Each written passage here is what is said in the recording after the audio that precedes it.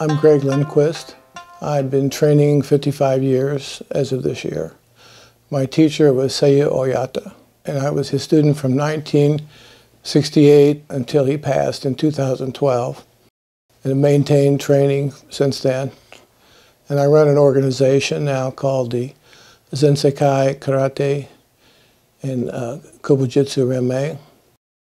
A small organization, but we uh, enjoy training in martial arts and uh, weapons training and karate training. And pretty much I try to do things uh, the old way to keep the old traditions going. Uh, my teacher was very traditional, yet he was a very modern man also. I was 19 years old, and I uh, took a semester in college, had to go back and work to make money to go back to college. So uh, friends of my family ran a gas station in a small town in Kansas called Olathe, Kansas. So I was working there, and uh, one day this uh, man brings this poster by. His name was uh, Wallace Nicholson. He was a Green Beret that was stationed in Okinawa. Uh, brought a poster by for karate training. To if he could put it up in the gas station. Oh, yeah, sure, you know. Oh, you should come down there. Oh, yeah, okay, you know, like we would say. So later, uh, either that day or the next day, I saw this man walking. Now, this is 1968 in a small town in Kansas, walking with a full kimono and geta on, cigarette hanging out of his mouth back then. And I go, whoa, what's that? You know, so uh, later on, he came by the gas station. He had different clothes on, of course, and said, uh, "Yukam Dojo." And I went, "Well, what?" And he pointed to the poster. So, so like any inquisitive young guy, you know, I uh, I went down there, and uh, the rest is kind of history. So I. Uh, uh, they didn't really know how to get students. I, I could say this. It's kind of humorous right now so I went in there and they put the bogu gear on me and just beat me up, you know. And uh, it's a wonder I went back, but I did. I thought, well, something special about this. So I, I, really did. I went back, and the rest is history now. So, so um, they had rented this old rundown garage and didn't have much equipment, you know, and it was very primitive, but there was something about him and his teaching method personality that I liked. So, so as, as more I got into it, I've always been kind of a, uh, a little bit of a history buff, and I've liked understanding where things come from. So I was very much interested in his culture. And uh, he didn't speak very good English at first, and we managed, and he got better and better. Training was seven days a week. And in that year, I only missed two days. Uh, once I was real sick, and I mean real sick. And uh, and second was it was Christmas, and he was there a little over a year, and he had to return back to Okinawa because his family got uh, uh, his son got injured, and he had to go back. So I visited Okinawa in 1975. We stayed in communication, and then he returned back in '77, and uh, the training ever since. You know, I, I was with him from I first trained with him till he passed in 2012. I used to travel a lot with him at first. I was the person responsible for introducing him to people. And this was a unique experience. And then also we, you know, established, before he came back, we established a martial arts supply business. Ran it, and I got to meet other martial artists. So it really expanded my knowledge of other arts and respect for other people. And uh, um, so that, that really helped me understand things. So this has been just a, such a great journey. Um, I think martial artists should be uh, kind to each other and respectful. And, but also, you know, when you, people need help, we help each other and help each other get better. So I, that's a very important uh, thing to do. So uh, training, um, you know, like anything, we, we specialize in different things. So uh, ho hopefully specialize. So um, I had a kind of a fondness for the kama, for training the kama. So I liked that, and he saw something in me. So we really spent a lot of time on kama training. So Well, originally, you know, he was careful. He didn't teach too much when I first got here. So he was basically learning kata and then putting the bogu gear on and beating each other to death, practically, and then doing some uh, tuite, some grabbing technique. And uh, I was usually on the receiving end of that, of course, you know. So, so, um, so as time went on, and after he came back, we got uh, more and more people to join. He was actually satisfied just teaching a few of us. And we had the martial arts business. He would help us like make things. We made our own uniforms and stuff like that. And um, and, and we started making weapons and things. So uh, I think he was happy. And you know, I went to him one day and I said, um, "What you're teaching won't fit in my head. We need more people, you know." And then we started doing that. You know, I was just kind of joking with him about that, but but actually he uh, he said, "Okay," you know. And uh, we had already some other people. Um, Jim Logan, South Carolina, was one. Uh, and, and Albert Giraldi in New York was another. And when we first started, that we made a small organization. And, and um, especially after he left, you know, I met these guys. And, uh, and, and you know, we tried, and so when he came back, there was a small organization for him. And then as time went on, it grew. He was a very, very good technician. And um, uh, when he'd go around and show people, and I went around with him the first few years, almost everywhere he went. And um, being the uke is very painful, but uh, as we all know, as being martial artists, yeah, it's part of part of the game.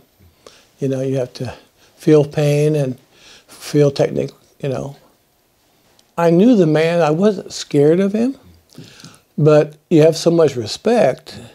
And since he hurt me a lot, you know, I mean, not really hurt me, but of course we had a few accidents, you know. I used to joke I was the king of the knockout club, you know. I, I went with him everywhere, and he, uh, you know, used me most of the time. And one of the best things to me after I got in my 40s, he said, well, I'm going to do it less on you. I got some younger guys now. You know, so age is, is something, you know, that's important. But to me, feeling the technique and, and, and stuff. So, you know, uh, as he told me, he said, killing's very easy, but controlling is more difficult. And so, like, knocking out isn't that you're, they're out and they can't do anything, it's that you have total control of them. So you don't have to go out all the way, and you don't really want that because then you got to wake them up, and that can be a problem. So the idea is to stun the person, and so they don't really know how. Uh, I mean, or what happened to them, and then they're, you know, the room's doing this hopefully. So I think it's kind of a unique experience to feel that. Um, another story I have when um, Dr. Chris Hubbard showed up to, uh, to our dojo in the late 70s, and he was a PhD of anatomy. So I knew when he walked in, I was in trouble, of course, that day, you know. So he wanted to show him technique, you know. So he told me to punch at him. So when he said punch, he really means it, not just, you know, okay, it's like really punching at him. So he hit me in the arm here.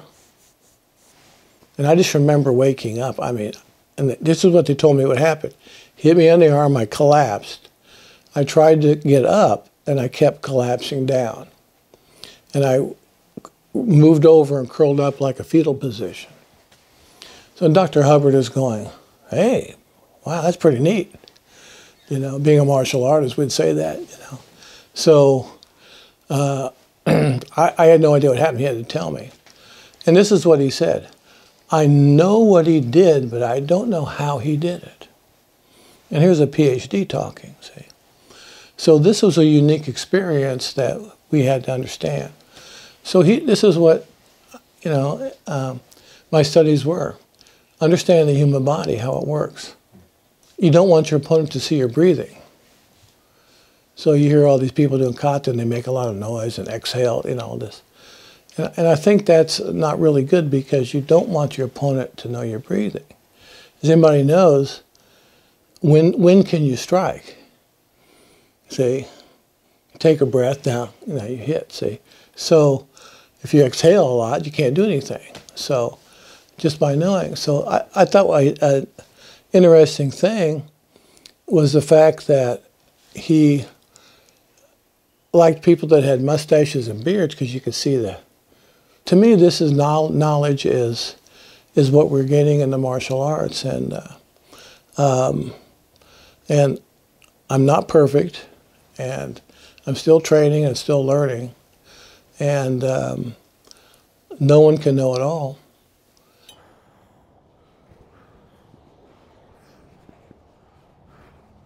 Uh, when it comes to the weapons and everything, proper use of them is very important and understanding them. You know, a bo is six foot long, but it's not a six foot weapon. It's only a three foot weapon because you have to hold it and that's all you have to strike with.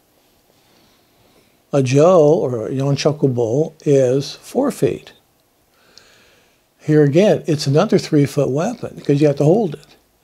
Now this uh, Rokushaku is six foot. You can't hold it on the end and use it. It's very difficult. There's some techniques. So you have to hold it up, so that's the three feet. And uh, the yonshaku or the jo, you can hold it at lower end, still have the three feet, you see. So they're very similar things. So then it comes to the smaller, the hand weapons, sai, everything else like that knowing how to use those properly because the bo was kind of the king of the kobujutsu. It's not that it's better, it's the common denominator. It was the common thing. And it was used to gauge other things. So you always used to see years ago, bo versus sai, bo versus tonfa, you know, bo versus bo, because that was the common thing. And uh, whatever talent was, you know. So it's much difficult if you have a sai and a guy's got a bo. You really got to know your stuff. See, that's sometimes they use two because that would aid you. See, so I think this is important, and also the tambo we use is very important. I feel that is because it's easy to find that. You know, sai, the other things you have to have a blacksmith or a metal person make these bo, for a bo, you need a long piece of wood. Tambo is two feet long. You can find that, you know. I mean, imagine yourself in a forest. You need something. You can find a two foot. You know, it may not be straight, but it'd be pretty pretty straight. So to me, that is the um, easiest thing to find. Uh, so if you had to teach a mass of people, that'd be a very common thing. And and I, I like the techniques very much. So so in the system, uh, we use the, we have the Kazushikata. The Kazushikata from the Ugushiku family was, I think, very unique and very important. And it has a lot of the tachiage type motions, um, very uh, beautiful moves. And I think it's important. So that's why I use this, this to honor my teacher and his teachers. So I think that's, that's really important to do. Um, so, but we have a Kazushi uh, Kama and Kazushi Tambo. Uh, I think I know like 29 weapons forms, which is really too much. but just to learn to pass them on, I can't perfect them myself, you know. So different people hopefully will pick up different, different ones and pass them on because things are too valuable to lose. Um, this, these are very, very old art and I think they need to be passed down to the next generations. Sometimes he would talk about the war, not too much, because it was a terrible thing. So he had lost th his three brothers. He was the last one. And the police came to his parents' house and said, we're taking your son. And his dad said, you're not taking my last son. You already got three of them, you know. And uh, so they said, then you go to jail. Then the dad goes to jail, you know, because the Japanese, uh, you know, needed people. So he told his dad he would go. And he went into Navy, the Navy, and, uh, excuse me here, and uh, he I had that training, and the you know a lot lot of martial arts training in that. You know, as far as judo and iaido and and uh, spear training uh, and yadi and uh, the bayonet training and all that. And uh, these were just young kids, and and he did the, all that, and he was supposed to be in the Kaiten, you know, the one one way tor- uh, torpedo kind of, and he, he told me they would weld you in it and gave you enough gas for one way and air, you know. So, uh, and I've seen pictures of them. I understand.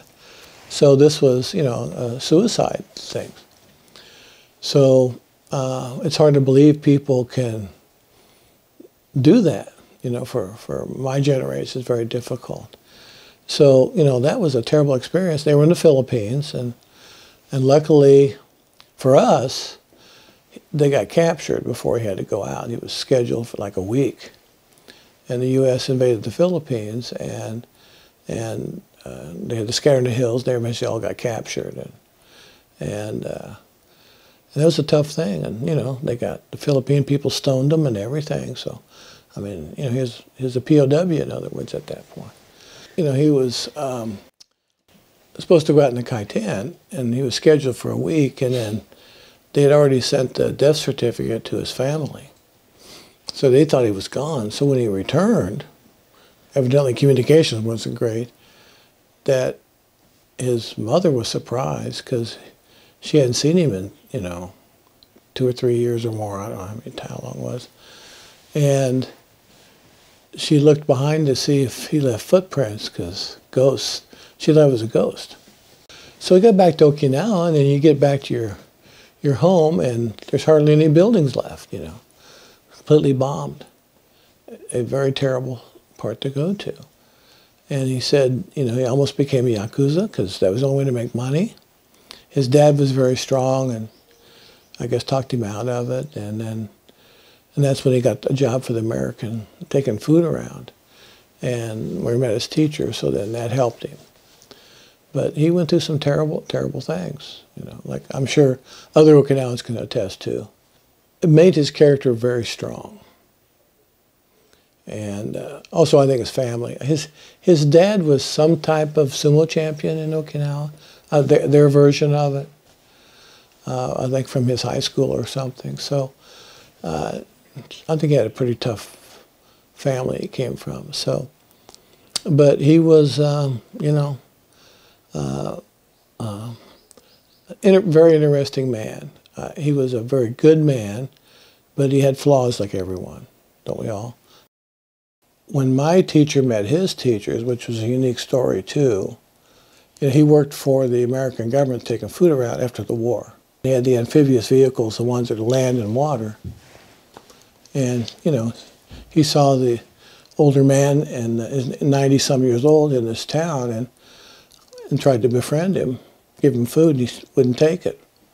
He kept at it and kept at it. And finally, saw him one day out fishing, and the, and the old man says, Hey, you can take me fishing.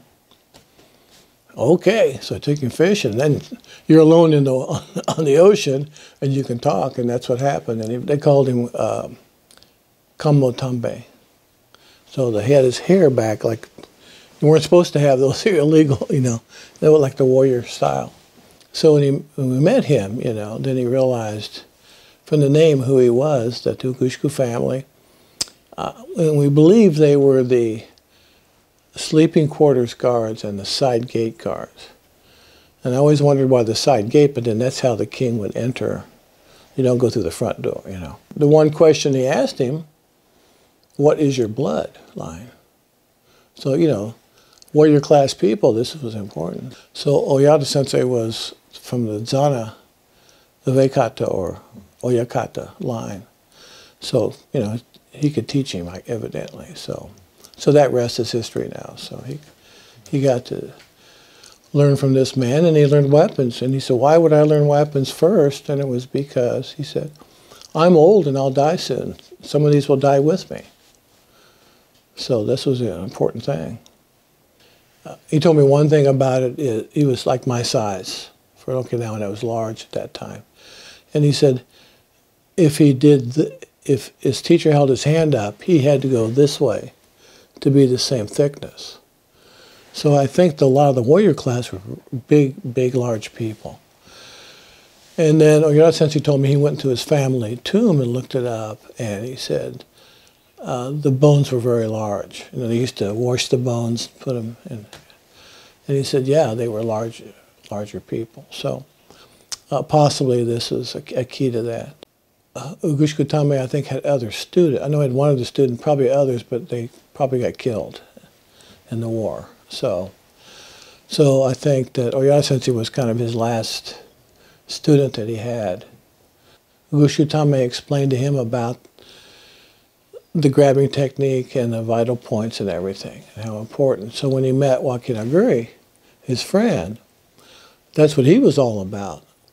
Uh, Wakinaguri, and uh, from a Gina area, he was Chinese descent, and uh, he had all the kyusho and everything. So, as he told us, it looked like his fingers were all the same length and no fingernails. So you start the Chinese training a young kid. And he said, you know, if he touched you, you were like on fire. He knew everything, you know. We think this was like more of an assassin type, you know, this type of skill he had, that it was um, very unique. And that they were friends, probably they were had some family uh, type similar jobs, maybe working in the castle, government, king, or what have you. So uh, this tradition lives on. So it's just speculation, of course, but we're pretty sure that's possibly what happened. So um, he showed him that understand the human body, how it works. It's very much a part of Chinese martial arts also. So he got to learn with these guys. They kind of shared him, I think. I think they had fun. They were friends and, and all this. So I think that was kind of a unique thing that he got to train in. And then, of course, you know, they were older when they passed, and 1950s came around, and uh, you know, and then he had to see other people, and went out and trained. And, and he said from his teachers, they told him how to train. And what I feel I'm lucky at, he taught me how to analyze what I'm doing. And, and to me, this is a great gift. So um, to be able to look at kata and say, I think it means this.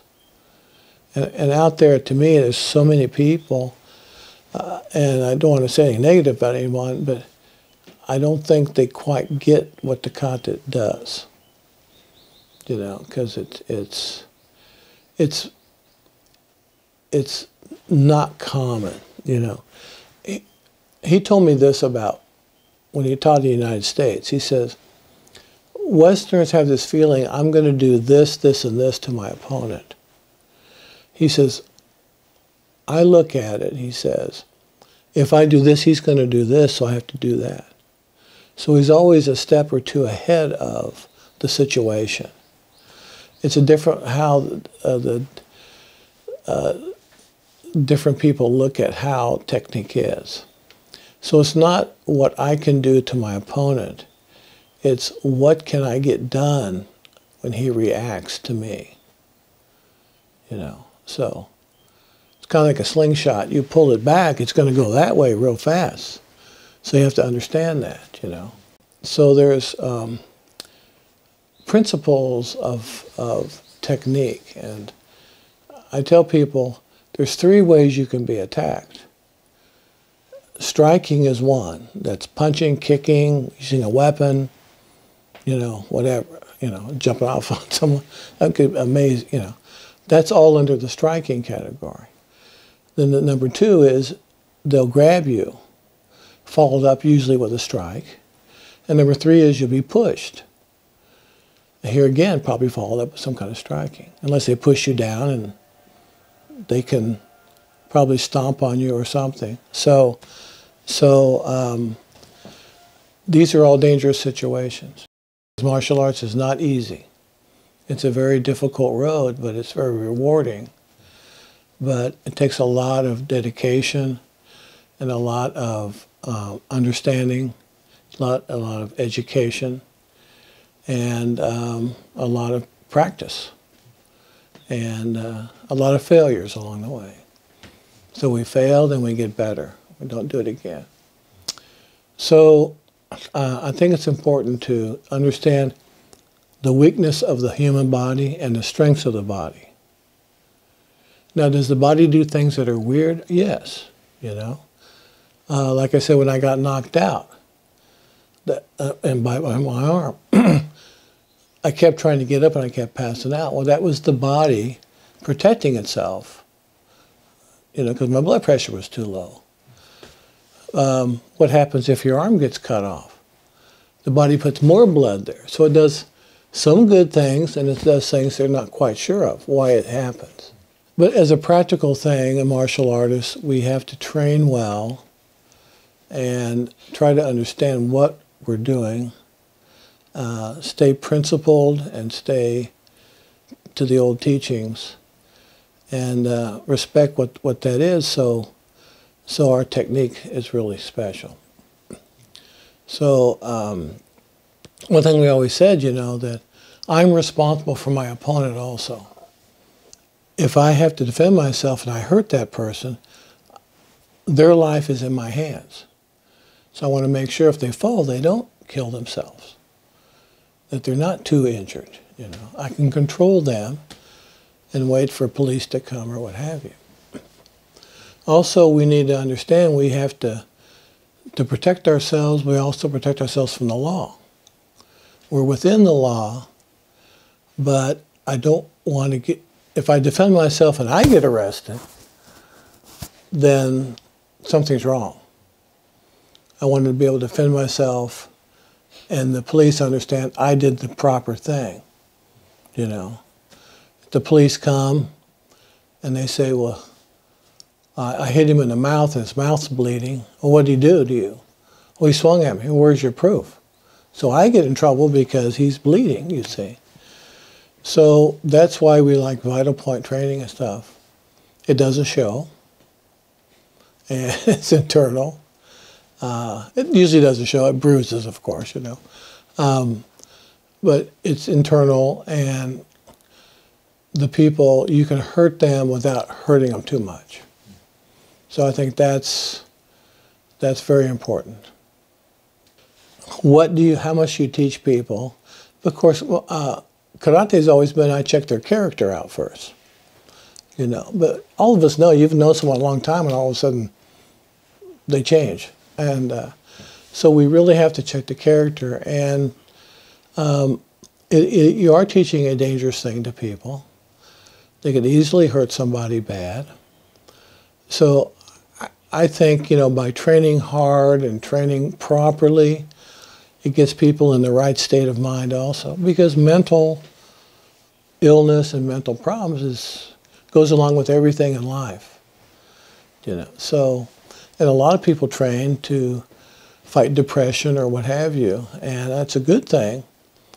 And we have to see that in people. So I know what you mean. It, it can be, you know, just simple punching can kill someone. So we have to be careful how we do that. So that's the first thing we do check is a person's character. So my thoughts on the future are uh, kind of a hard thing to say because, you know, I hope the future is is peaceful for everyone. But um, it's to keep keep training and keep teaching. Hope we can spread the technique and the kata and the weapons more in different countries. I have very good people that are helping me. I think that's a very important subject to do.